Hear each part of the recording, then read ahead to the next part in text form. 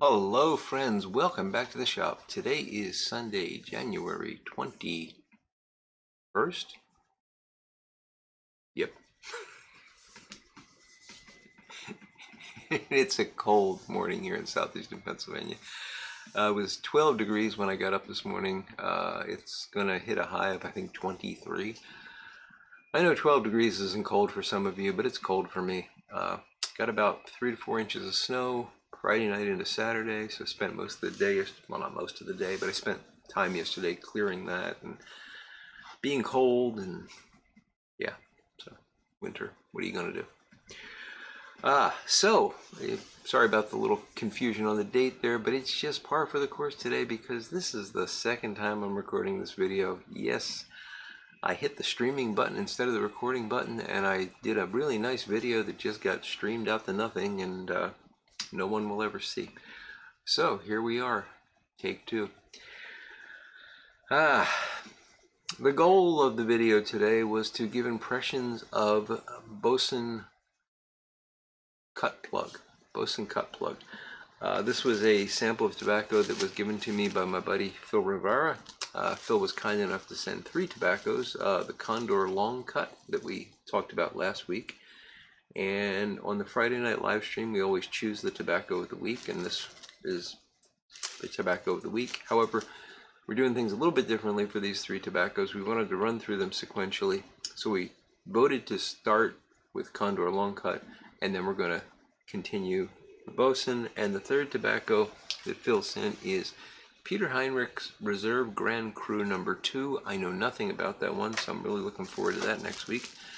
Um, but today we're going to be having some of this Bosun. And full disclosure, I've already loaded and started this with the first video, but I still have about half the pipe to go. So we'll we'll continue with that. But I will show you the an example of the flake. Um, these are nice, uh, sort of stringy flakes, and they rub out quite easily. Normally I would just kind of pull some of this off and ball it up and stuff it in, but for the purposes of the video I did rub it out just to make sure it burns consistently and I didn't have to struggle with relighting. I rarely do, but it happens occasionally. Alright, so we got this loaded up. This tobacco, and I have it in my Ropp Cherrywood, um, which I will get lit once again and tell you about the tobacco. It is a mixture of a couple of different Virginias, uh, some interesting Virginias uh, from Brazil, Zimbabwe, and Malawi. Uh, it's about 50% Virginia according to the description.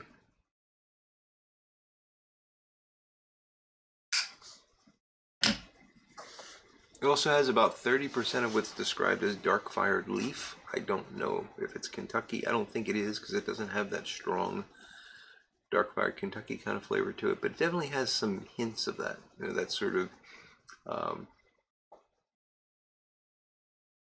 smoky, um, smoky sweetness. There's also some burley in there, and it um, it is topped with a oil of clove and rose geranium. God help me. And um, yeah. So Phil sent this along because he uh, considers it to be a good alternative to, uh, or an alternative to the Condor uh, long cut.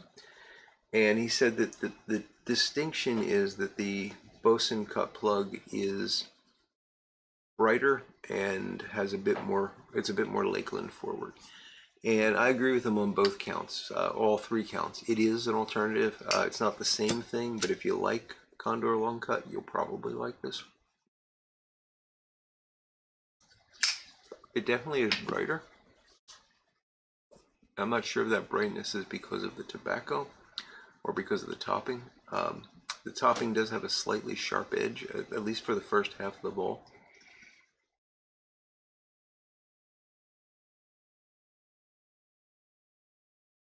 and it's definitely more forward in terms of the Lakeland essence. I cannot detect, you know, I, I smoked this on Friday night, one bowl, and I smoked halfway through this bowl today, this morning, and I have not been able to detect any clove at all.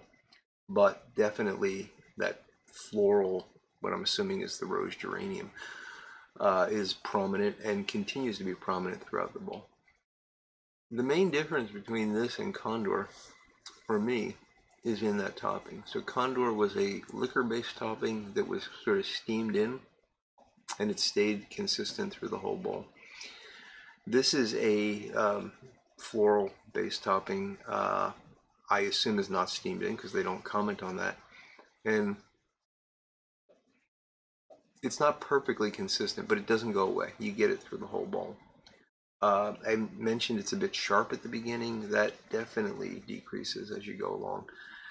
And it becomes a little, just slightly less prominent. So the tobacco starts to come, few, come through just a little bit more in the second half of the bowl. But by and large, it is balanced, um, which creates a kind of interesting flavor profile. So it's not like you're smoking an aromatic where you can't taste the tobacco at all and it's all topping uh, until the topping goes away. It's also not like uh, something where you get just the light topping and the tobacco is really easy to detect and the topping is just sort of a note in the background. This is very well balanced and it makes it difficult to decide whether that's a topping note or a tobacco note. Uh, I'm having trouble pulling out any like really clean Virginia flavor. Which I don't mean in a bad way, I just mean it's very hard to isolate that. Because it's so well paired and melded with that floral essence. It creates an interesting sweetness because of that. It's not it's not sugary sweet. It's more of a caramelized, uh, toasted, almost like um, it doesn't taste anything like toasted coconut, but it's that kind of sweetness profile where you've got a sweet savory combination, um, not too bright sugary sweet, but caramely sweet with something else uh, toasty in there. maybe that's the dark fired.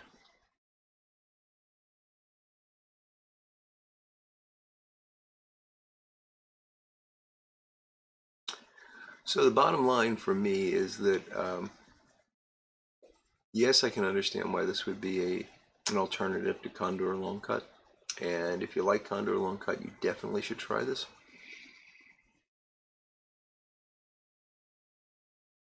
This is a great tobacco for someone that's curious about Lakelands, but is afraid of them, like me. Uh, this is not in any way offensive, and I can I can enjoy this. It's not something I would buy, um, just because if, if I if I want this, I'm gonna want it maybe a couple times a year. I put it in that same category as Latakia for me. I don't really like Latakia. It's not something I want every day, but occasionally I get an itch for it, and I'll I'll pull some out. The same with this. I might occasionally think, gee, I'd like to have some of that, but it's not going to be a common event for me. But that's just my palate and what I enjoy.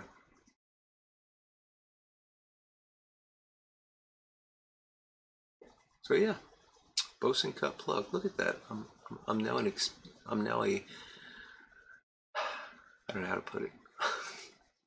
I've had a Lakeland I enjoy. I guess I've had two now if you count Condor. I don't know if you count Condor, but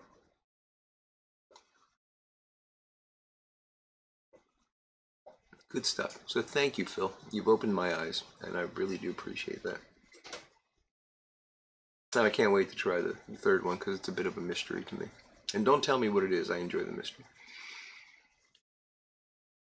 So, uh, yesterday was a bit of a wash for me. I, uh, for reasons I won't go into, I, I, I wound up not getting a lot of sleep on Friday night. And then on uh, Saturday, I had to get up early and move the snow. And, uh, and I wound up napping in the afternoon. so,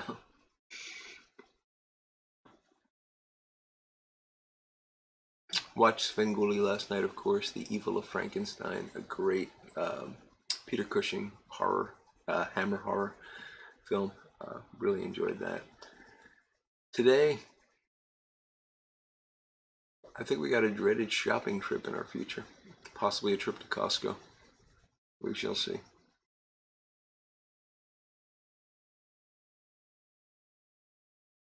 Otherwise, just going to take it easy and uh, looking forward to the big warm up tomorrow where we're going to hit 34 degrees, I think. Oh, 37 degrees actually. Crazy. I don't think it's going to be below freezing for more than a couple of hours tomorrow. And it's not going to get above, it hasn't gotten above freezing for three days.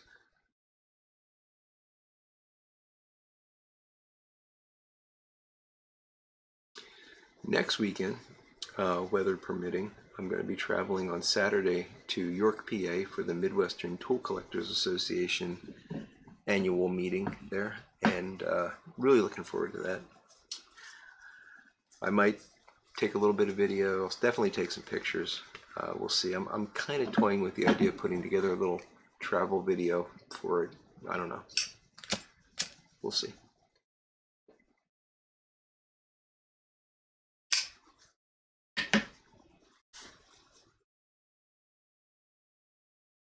Don't have a big shopping list for the tool show. Just a couple of odds and ends that I'd like to get just to complete a set or you know things like that, but nothing big. But you never know what you're going to find, right?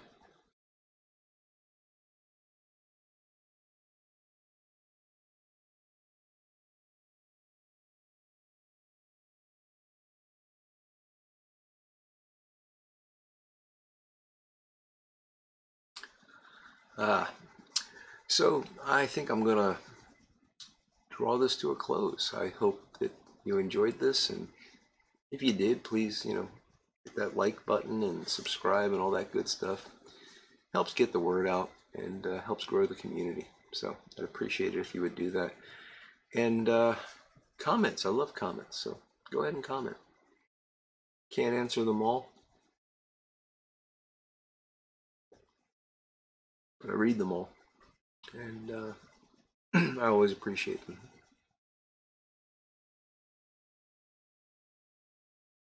So, with that, folks, I hope you have a wonderful Sunday and a great week ahead. And until we speak again, I will look forward to talking to you all again very soon. Goodbye now.